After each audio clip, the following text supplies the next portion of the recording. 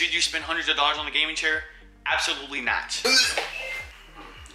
you're interested in buying an expensive gaming chair. Today we're gonna be taking a look at my expensive gaming chair. I'm gonna go on to and why you should or you shouldn't buy one of these. Why am I spinning? You're not. This is actually my second time shooting this video because the first one was just so boring. Today we're gonna be doing a sort of review on my gaming chair. It's about a $400 gaming chair.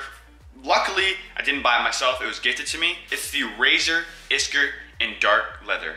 Not dark leather. In dark gray fabric.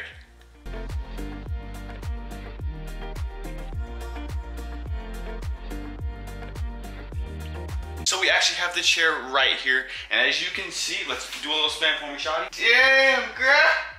That's a beautiful looking chair. And she fit too. But as you can see, this is a stunning chair. The dark gray with the black accents and the very subtle green for Razer.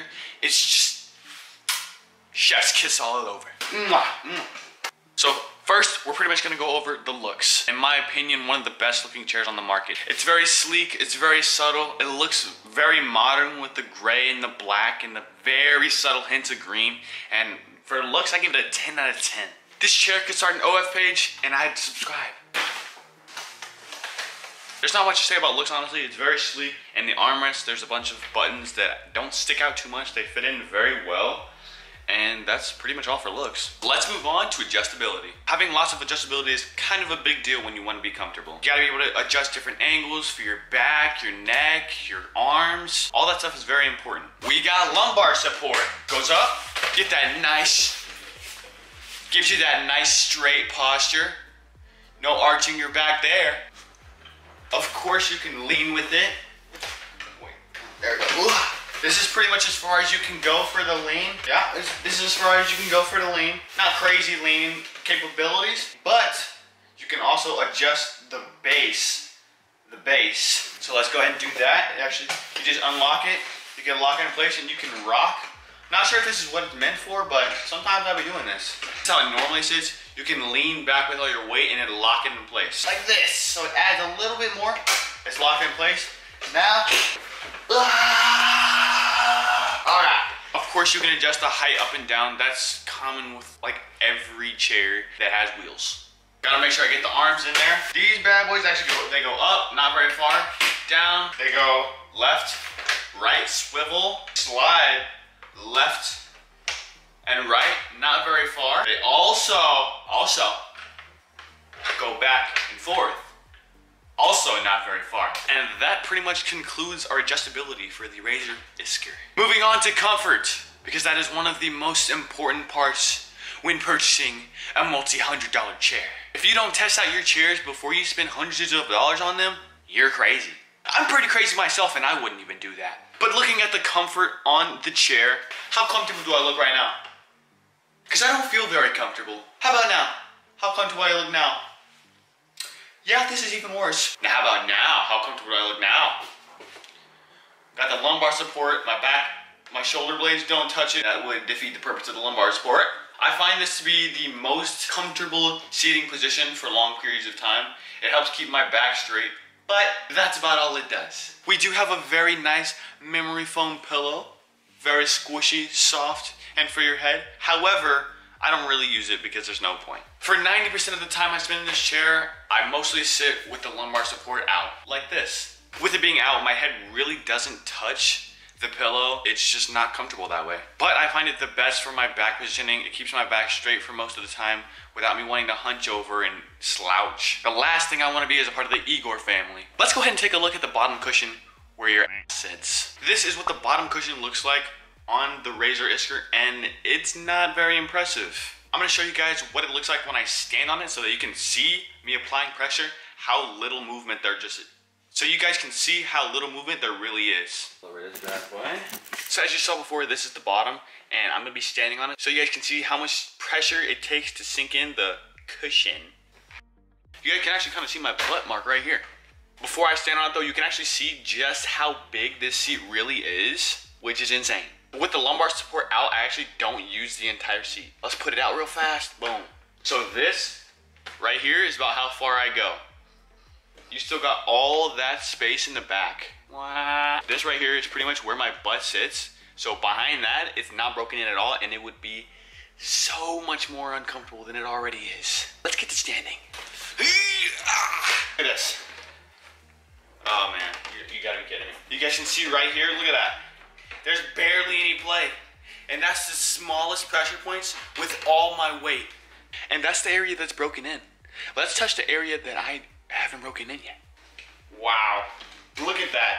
Barely any movement whatsoever, and I'm freaking spinning. It's honestly mad impressive how uncomfortable they make this look and feel. So I've actually had this chair for about a year and seven months now, and you can see I've broken it in pretty well for the parts that I sit. For the parts that I sit, there's honestly not that much cushion, not that much bounce. You guys saw exactly how it looked. And for the parts that I don't, yeah, I, I guess I should probably sit up now.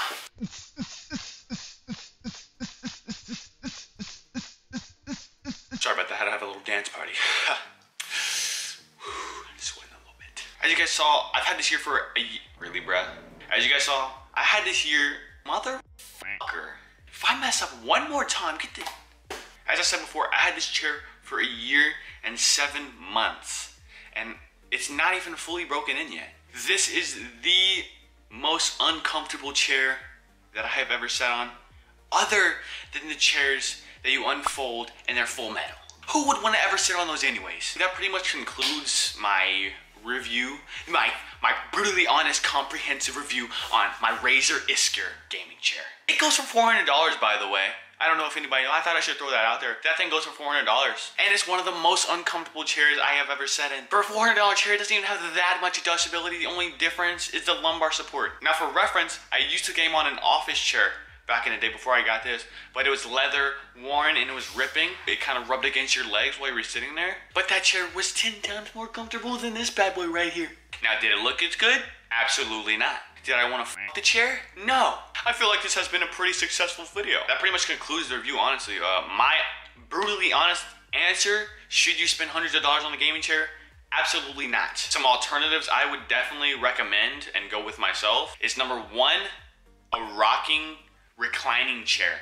Those are so comfy, bruh. I could literally sleep in one. This thing, I, I can't really sleep in that unless I want to wake up with back pain and neck pain, leg pain, shoulder pain, face pain, all the pain. And in all seriousness, the number one thing I would recommend if you're a chill gamer, you play with controller and console, because you have to be a chill gamer or play controller. You can't play mouse and keyboard with a reclining chair, unfortunately. It just kind of, the ergonomics of the chair don't work well with playing at a desk. But if you are a chill console player, I would absolutely one gajillion percent recommend a rocking reclining chair because them bad boys is comfortable as then the second alternative would be office chairs. I personally used to use an office chair before this bad boy. It was much cheaper, much more comfortable. Now it didn't look as good, but that really doesn't matter. So that pretty much wraps up this video. Uh, I hope you guys did enjoy. I hope it did help you guys get a little honest look at these four, five hundred dollar gaming chairs and how shitty they really are. But I really do appreciate the support I've been getting on these past two videos. I'm gonna be coming out with a channel trailer pretty soon. If you guys like don't want to watch this part, you don't have to. Like thank you guys for watching. I appreciate you guys. I love you guys. But next, I'm probably gonna be coming out with a channel trailer or something like that. I gotta think about it. I gotta get that right because it's gotta be funny. It's gotta be good. I don't, I don't want a boring ass video. I gotta be able to hook people. I gotta chain them up and lock them in my basement type stuff, you know? But anyways, I do appreciate the support I've been getting you guys. I really love you guys. I hope you guys did enjoy this video and I will catch you in the next one. Peace!